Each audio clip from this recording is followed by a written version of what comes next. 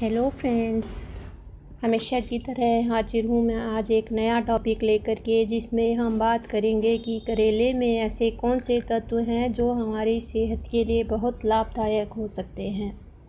जी हाँ करेले में बहुत सारे ऐसे तत्व मौजूद हैं जो कि हमारे लिए बहुत लाभदायक हैं। इसके सेवन या इसका जूस पीने से कई बीमारियों की संभावनाओं को कम किया जा सकता है। इसे बहुत सी दवाइयों को बनाने में भी इस्तेमाल किया जाता है। तो जानिए आज के इसके क्या फ़ायदे हैं। सबसे पहला जो इसका फ़ायदा है वो है डायबिटीज़ के पेशेंट्स के लिए।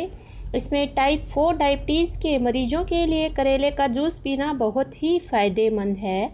इंसुलिन की उचित मात्रा ना होने पर ब्लड में शुगर की मात्रा बढ़ जाती है, जो टाइप टू डायबिटीज़ के लिए जिम्मेदार है। करेला का जूस ब्लड शुगर लेवल को कंट्रोल करता है। डायबिटीज़ के रोगियों को एक चौथाई कप करेले के रस में इतना ही गाजर का रस मिलाकर पिला सकते हैं। इससे ब्लड शुगर का लेवल धीरे धीरे कम होने लग जाएगा। सुबह के समय करेले का जूस पीना ज़्यादा फ़ायदेमंद सिद्ध होगा। करेले में मोमसिडिन और चेराटिन जैसे एंटी हाइपरग्लाइसेमिक तत्व पाए जाते हैं। इसका एक और फ़ायदा मैं आपको बता देती हूँ, जिसमें महिलाओं में खून की कमी हो जाती है और उसमें बीमारी में यह बहुत ज़्यादा काम करता है। जो एक आम समस्या है, महिलाओं की आयरन की कमी होना लेकिन आयरन से भरपूर सब्जियों का सेवन साथ में करना भी बहुत ज़रूरी है। दिन में एक बार करेले की सब्ज़ी खाने या इसका जूस पीने से हीमोग्लोबिन का स्तर जो है वो अच्छा किया जा सकता है। साथ ही इससे हमारा खून भी साफ़ होगा, जिससे हमारी स्किन में भी चमक आ जाएगी। नेक्स्ट इसका जो फ़ायदा वो है कि कैंसर से ये हमें कैसे बचाता है? कैंसर से लड़ने के लिए करेला जो है बहुत ज़्यादा सहायक है फ्रेंड्स इसका जूस पीने और इसके गूदे को पानी में उबाल कर पीने से कैंसर जैसी भयंकर बीमारी की संभावना को काफ़ी हद तक दूर किया जा सकता है। यानी कि हम पहले ही अगर ये इसका सेवन कर लें तो हम कैंसर से बच सकते हैं। नेक्स्ट इसका जो फ़ायदा है, वो है पथरी के रोगियों के लिए। पथरी के रोगी दो करेले का रस पी लें और करेले की सब्ज़ी खा लें तो इससे पथरी गल कर धीरे धीरे बाहर आ जाएगी।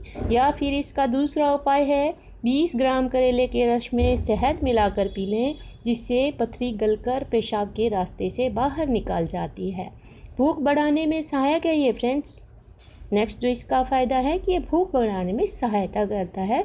जिन लोगों को भूख कम लगती है, खाना नहीं पचता है, उनके लिए ये बहुत अच्छा है। तो इसका जूस डेली वो सेवन कर सकते हैं। नेक्स्ट इसका फ़ायदा है कि ये त्वचा रोगों में बहुत अधिक काम आता है।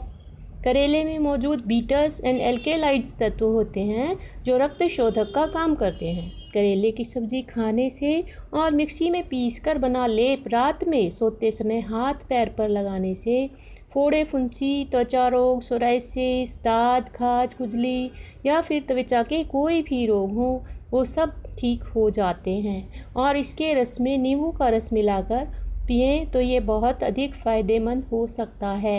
इस तरह से मैंने आपको करेले के बहुत सारे उपयोग बताए हैं फ्रेंड्स। आप इन्हें यूज़ करिए, इसका कोई नुकसान नहीं है करेले का।